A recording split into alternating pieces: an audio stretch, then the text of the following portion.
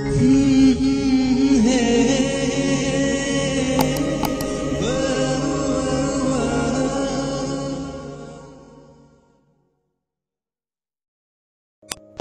বন্ধুরা, তোমরা সবাই কেমন আছো? আশা করি খুব ভালো আছো। আজ আমি ফারুক স্টাইলি চ্যানেলের পক্ষ থেকে প্রাক্তন গল্পে পঁচিশ নম্বর পর্বটি নিয়ে হাজির হয়ে গেলাম। তো আশা করি তোমাদের সম্পূর্ণ ভিডিওটি ভালো লাগবে আর অবশ্যই জানাবে তোমাদের কাছে গল্পটি কীরকম লেগেছে। তো আর কথা বাড়াতে যাচ্ছি না, সোজা গল্পে চলে যাচ্ছি। সোহান কি আমার সাথে নাটক করল? কারণ ক্যালেন্ডারটা হাতে নিতেই কিছু ছবি মেঝেতে পড়ল। মনে হচ্ছিল ছবিগুলো হয়তো সোহানের কোনো গোপন ছবি। যেগুলো ক্যালেন্ডারে এভাবে রেখেছে, প্রথমে এমন কথাটাই মাথায় চলে এসেছিল। ক্যালেন্ডার হাতে নিতে ছবিগুলো উল্টে পড়েছিল তাই। পরক্ষণে অবিশ্বাসের চাদরটা মন থেকে সরে গেল। যখন ছবিগুলো মেজ থেকে তুলে দেখলাম, নিজের চেহারাটা। ছবিগুলো বেশ পুরনো। নবম, দশম শ্রেণি হয়তোবা কলেজে থাকা অবস্থায়। আট থেকে দশটা ছবি তুলে রাখা আছে। প্রতিটি ছবির পিছনে সেই দিনে ঘটে যাওয়া ঘটনা ছোট করে বর্ণনা করা। বেশ ভালোই লাগল বিষয়টা দেখে। অন্তত কেউ একজন তো আমাকে ভালোবাসে। তার মনের গভীরে তো অপ্সরা নামটা রয়েছে। আমি চুপ করে কিছুক্ষণ দাঁড়িয়ে রইলাম। তারপর ছবিগুলো যথাস্থানে রেখে খাটের কোণে বসে রইলাম। ভিডিওটা বেশ প্রশান্তি লাগছে। মনটাতেও বেশ স্বস্তি লাগছে। নিজের জীবনের মনটা হয়তো ঘুরবে এবার। হয়তো এতদিনের কষ্ট সুখ হয়ে পরিণতি পাবে। নয়তো বাবা নাও পেতে পারে। তবে নিজেকে সেভাবেই করে নিয়েছি, যাতে ভালো খারাপ যাই হোক, নিজেকে মেনে নিতে পারি। অর্ণকে একটু একটু মনে পড়লেও সেটা দমিয়ে নিচ্ছিলাম বারবার। অর্ণের শাস্তি কামনা করেছিলাম, তবে মৃত্যু না। সৃষ্টিকর্তার নীলা ছিল, ভিন্ন তাই। আজ সে ওই পারে। দোয়া করি সে যেন জান্নাতবাসী হয়। বেশ কিছুক্ষণ একা বসে রইলাম। টুকটুকের তো কোনো পাত্তাই নেই। একা বসে থাকতে তেমন ভালো লাগছে না। টুকটুকিকে টুকটুকিকে খুঁজে বের করে তার সাথে একটু সময় কাটালে মনটা শিখতে হবে। তাই বসা থেকে উঠে দাঁড়ালাম। দরজার দিকে পা বাড়াতেই দেখলাম সোহানের মা আসছে। সোহানের মা আমার দিকে তাকিয়ে বেশ হালকা গলায় বলল, একটু বসো এখানে, কথা আছে। মনের ভিতরটা হালকা কম্পিত হলো। মনে হলো উনি বলবেন, এই বিয়েতে উনি রাজি না। কিন্তু আমার ভাবনাকে ভুল প্রমাণ দিয়ে সে বলে উঠলেন, তোমার বাবা মার সাথে কথা বললাম, ওনারা সন্ধ্যায় আসবেন। আর আজকেই তোমার সোহানের বিয়ে দিতে চাই। অনেক ঝামেলা গেল। আর নতুন কোনো ঝামেলা হওয়ার আগে সব শেষ করে দিতে চাই। একটা অনুগ্রহ রাখবে শুধু? আমার ছন্ন ছাড়া ছেলেটাকে কখনো ছেড়ে যেও না। ওর জীবনটা সুন্দর করে গুছিয়ে দিও। বড় ছেলের পরিণতি তো যেন ছেলে ছোট ছেলে না হয়। ওনার কথা শুনে চাপা কণ্ঠে জবাব দিলাম, আন্টি, আপনি চিন্তা করবেন না।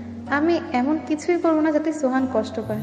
আর আমি সোহানকে ততটুকুই দেওয়ার চেষ্টা করব যতটুকু সে নিজেকে গুছিয়ে নিতে পারে। না পাওয়ার যন্ত্রণা যে কত প্রখর, সেটা আমি জানি। এমন কিছুই হবে না। দোয়া করবেন আমাদের জন্য। উনি আমার মাথায় হাত বুলিয়ে দিয়ে বললেন, এখন থেকে মা ডেকো, আর একটু তৈরি হও। সন্ধ্যায় কাজে আসবে বিয়ে পড়াতে। একটু তো নিজেকে গুছাও, সাজগোজ করো। কাউকে আপাতত বলতে চাচ্ছি না বিয়ের ব্যাপারটা। বিয়ে হওয়ার পর সবাইকে জানাব। আমি লজ্জা মুখে মাথা নেড়ে বললাম, আর চোখে দরজায় তাকিয়ে দেখলাম সোহান দাঁড়িয়ে মুচকি মুচকি হাসছে। সোহানের হাসি দেখে লজ্জা আমার মাথা নুয়ে গেল। আমি সোহানের উপস্থিতি টের পেয়ে রুম থেকে বের হয়ে গেল মা রুম থেকে বের হয়ে গেল। সোহান এবার আমার দিকে আসলো। আমি সোহানের দিকে তাকালাম। এই প্রথম ওর দিকে তাকাতে বেশ লজ্জা লাগছে। ওর উপর খবরদারি করতে লজ্জা লাগছে। মনে হচ্ছে আমি সত্যিই নতুন বউ। সোহান আমার অবস্থা দেখে আমার হাতটা ধরে তার কাছে এনে বলল, আজ একটা একটু সুন্দর করে সাজবি? সরি সাজবে? তোকে যেন সরি তোমাকে হবে। তোমাকে যেন পরীর মতো লাগে। কপালে লাল টিপ দিবি? ধুর! ধুর, তুমি করে ডাকতে পারব না। তুই করে ডাকবো, কেমন? আমি মুচকি এসে মাথাটা নেড়ে বললাম আচ্ছা। সোহান আমার হাতটা টেনে তার কাছে আনলো। টুকটিকে এর মাঝে উপস্থিত হতে সোহান হাতটা ছেড়ে দিল। আমি টুকটুকিকে কোলে নিয়ে সোহানের কানে কানে বললাম, আমিও তোরে ভালোবাসি। বলেই রুম থেকে প্রস্থান নিলাম। টুকটুকির সাথে কিছুক্ষণ খেলে ওকে ঘুম পাড়িয়ে দিলাম। এবার গোসল করতে গেলাম। ভালো করে গোসল করলাম। চুলগুলো বেশ যত্ন করে শ্যাম্পু করেছি। আজকে অনেক ভালো লাগছে। মনে হচ্ছে যন্ত্রণার পর যেন স্বস্তি মিলছে। নিজেকে বেশ পরি- পরিপাটি করে নিলাম। দেখতে দেখতে বিকাল গড়িয়ে সন্ধ্যা হলো। মা বাবা সবাই আসলো। মা আমার কাছে এসে বলল, মা রে, অভিমান করেছিলাম। তোর ভবিষ্যতের কথা ভেবে। ক্ষমা করে দিস। তোরে আল্লাহ দুহাত ভরে দিছে। সোহানের মতো ছেলে তো অত ভাগ্যের ব্যাপার। আল্লাহ তোকে তাই দিছে। বাবাও এসে আমাকে জড়িয়ে ধরে বলল, ক্ষমা করে দিস মা, ভুল বোঝার জন্য। তোর প্রতি রাগটা বেশিক্ষণ করতে পারলাম না। ভাই আর ভাবিও এসে ক্ষমা চেয়ে নিল। একটা বিয়ে যেন সমস্ত পরিস্থিতি পরিবর্তন করে দিল। অথচ এরাই গতকাল পর্যন্ত আমার মুখ দেখতে পর্যন্ত চায়নি। কষ্টটা চেপে গেলাম শুধু। কাজই আসলো। দুই পরিবার একসাথে বসল। আমি আজ লাল বেনারসি পরেছি, হাতে লাল চুড়ি, কপালে লাল টিপ। যে সাজটা সাজতে চেয়েছিলাম চার বছর আগে, কিন্তু ব্যর্থতার গ্লানি সেদিন আটকে দিয়েছিল সব। আজকে সে একই সাজটা সেজেছি, তবে যেন অনেক কষ্টের পর প্রাপ্তি। কাজী বিয়ে পড়ানো শুরু করল। আমাকে কবুল বলতে বলল, কবুল বলার সময় বেশ জোর করাই কবুল বললাম। তিনবার কবুল বলেই কেটে দিলাম। আজকে আমি নতুন জীবনে পা দিয়েছি। একজনের সন্তান আমার পেটে, আরেকজনের বউ আমি হব। কেউ না জানো আমি আর সোহান সবটা জানি। সোহানও কবুল বলল দুজনের সুখ চেয়ে মোনাজাতের মাধ্যমে বিয়ে সম্পূর্ণ হলো। বিয়ের পর আমাকে নিয়ে বসানো হলো সোহানের রুমে। মা বাবা খাটের, মা বাবা রাতের খাবার খেয়ে বাসায় চলে গেল। যাওয়ার আগে আমাকে মন ভরে দোয়া করে গেল। টুকটুকিও বেশ কয়েকবার রুমে এসে এটা সেটা জিজ্ঞেস করে গেল। মা কয়েকবার রুমে এসে উকি দিয়ে জিজ্ঞেস করল, কিছু লাগবে কিনা আমি মাথা দিয়ে না বললাম। অথচ সোহানের কোনো পাত্তাই নেই। যার জন্য বসে আছি সেই কই? ঘড়ির কাঠায় তখন এগারোটা বাজে। এখনও সোহান এলো না। বেশ রাগা, রাগ লাগছে ওর উপর।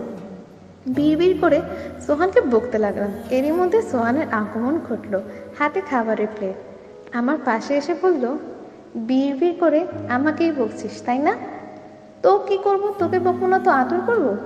সোহান খাবারের প্লেটটা বিছানার পাশে রেখে আমার কানের কাছে এসে বলল, আমি তোর স্বামী, ভুলে যাস না। আমাকে বকবে কেন? আদর করবে? আমি সোহানের কথা শুনে একটু জোরেই হেসে দিলাম। ও আমার হাসি দেখে গাল টেনে বলল, এবার খাতো এখনও তো খাসনি। পেটে একজন না খেয়ে আসে সেটার খবর কি আছে? আমি সোহানের দিকে তাকালাম। এত ভালোবাসা আর মায়া ওর চোখে। সত্যি বলতে সুপারহিরো আছে, তবে তাদের সংখ্যা খুব কম। আর এই কম সংখ্যার মধ্যে সোহান একজন যে কিনা নির্দ্বিধায় সবটা মেনে নিয়েছে। তার ভালোবাসার কাছে সব হেরে গেছে। আমি সোহানকে নর্ম গলায় বললাম, তুই খাওয়ায় দে, নাইলে খাব না। সোহান প্লেটে ভাত মাখতে মাখতে বলল হা কর, খাইয়ে দে। আর একটা সুখবর আছে। আমি মুখে ভাত নিয়ে চিবোতে চিবোতে বললাম, কি? কালকে নাফিসের সাথে জেলে দেখা করার ব্যবস্থা করেছে। আমাদের বিয়ের খবরটা ওকে দিব। এত কিছুর কি দরকার ছিল? তোর কষ্টটা দেখেছে, তোর সুখটা যেন দেখে দেখে, তাই। আর আমি তোকে আর কষ্ট পেতে দিব না।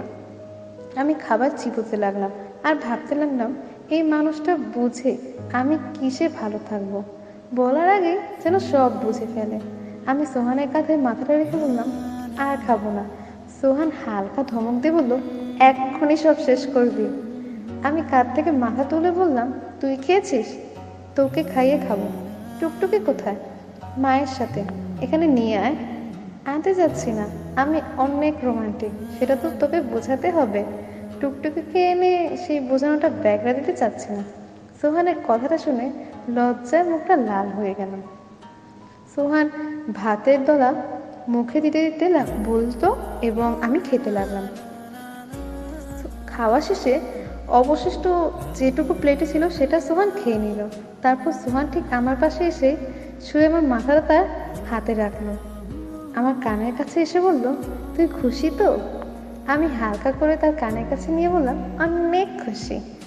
পরদিন সকালে উঠেই সোহানকে নিয়ে নাফিসাকে দেখতে গেলাম। যাওয়ার পথে কেন জানি না আমার মনে হলো, আমি অরণ্যকে দেখেছি।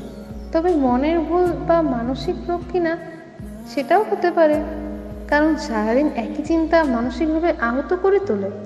আর সে মরে গেছে, তাকে দেখা তো প্রশ্নই আসে না। নাফিসার কাছে যেতেই সে আমাকে দেখে বেশ অবাক হলো। আমি কিছু বলে বলে ওঠার আগে সে গড়গড় করে কয়েকটা কথা বলল, যা শুনে নতুন রহস্যের গন্ধ পেলাম। সেই সাথে মনে প্রশ্ন জাগলো, আদেও কি অরণ্য মরেছে, নাকি পুরোটা একটা ফাঁদ? কারণ নাফিসা বলল, চলবে। তো ফ্রেন্ডস আপনাদের কি মনে হয়, অরণ্য আবার কি ফাঁদ পারছে আমার তো বেশ ইন্টারেস্টিং লাগতেছে। তো অবশ্যই জানাবেন কমেন্টে আপনাদের কি মনে হয়।